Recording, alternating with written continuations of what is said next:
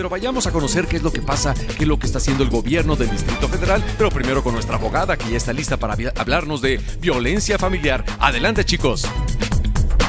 Muchísimas gracias, mi querido Juan Ramón. Muy buenos días a toda la gente que nos acaba de sintonizar, que está en casita. Pues bueno, vamos a continuar con el tema de violencia familiar, la segunda parte, con nuestra querida abogada de cabecera. ¿Cómo estás? Buenos días, Paola. Hola, Buenos días.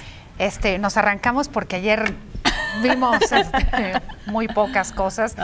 Eh, vamos a repasar, ayer vimos el, delito contra el derecho de los integrantes de la familia a vivir una vida libre de violencia.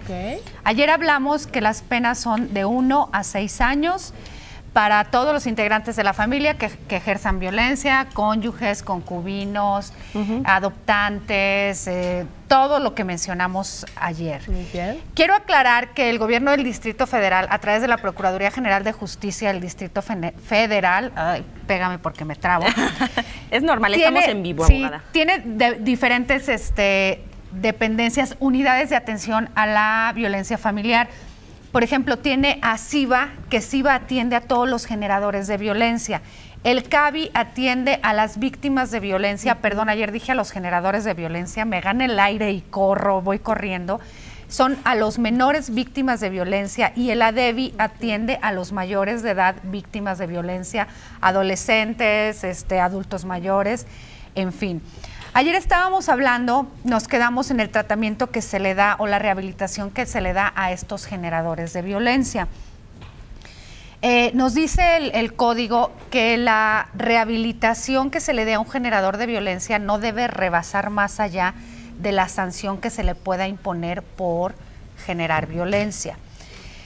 Eh, también nos dice Fíjate que esto tristemente, la gente que sufre trastorno mental, aparte de las mujeres, aparte de los hombres, de los menores, e, este grupo vulnerable se le puede decir que son la gente con alguna enfermedad mental, sufren de violencia. Y para eso el Código Penal del Distrito Federal nos dice que cuando una persona que tiene un, está diagnosticada con un trastorno mental y es sujeto de violencia, las penas se pueden incrementar en este caso. ¿Y qué tipo de violencia es? Eh, ayer hablamos de la violencia física, emocional, psicológica. psicológica, sexual. Vamos a tener un programa específico para explicar una a una este tipo de violencias. También nos dice el código que ni el tratamiento médico rehabilitación de una persona con algún trastorno mental, ni como forma de educación o formación a los menores se puede justificar como método la violencia en cualquiera de sus formas. Recordemos que muchas gentes tenemos arraigada la educación anterior, donde pues era con sangre, ¿no? Y era la cuchara de palo, y era el cinturón, y eran los insultos.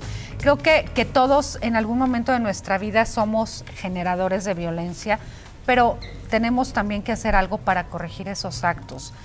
Eh, con golpes no logramos nada. Todos los delitos de violencia se persiguen por querella, pero los delitos que se van a perseguir de oficio son cuando la víctima sea menor de edad, incapaz o no tenga la capacidad de comprender el significado del hecho. Normalmente son los menores de edad o la gente con algún trastorno o alguna enfermedad mental ya declarada. Cuando la víctima presente una discapacidad sensorial física o mental total, parcial, temporal o permanente. Cuando se ejerza violencia sobre ella, se perseguirá de oficio. Cuando la, víctima sea mujer encinta o durante los tres meses después de haber dado a luz, este delito se, se persigue de oficio. Cuando se cometa con la participación de dos o más personas. Hemos visto casos de familias, estamos hablando de violencia familiar, donde se unen dos hermanos o dos integrantes de la familia en contra de uno. Cuando la violencia se ejerza de esa manera, también se persigue de oficio.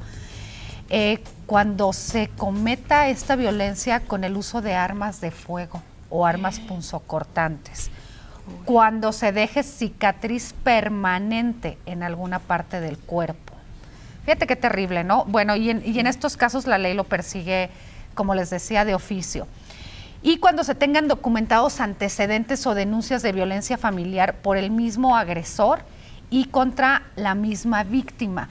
En ocasiones eh, se hacen, se levantan actas especiales, se inician actas especiales, se inician averiguaciones previas, se otorga el perdón, pero ya hay una, ya hay antecedentes de que se ejerce esta violencia y entonces cuando son actos reiterativos y repetitivos, por decirlo así, entonces también se persigue de oficio. Y por último, cuando existe imposibilidad material de la víctima para interponer una denuncia.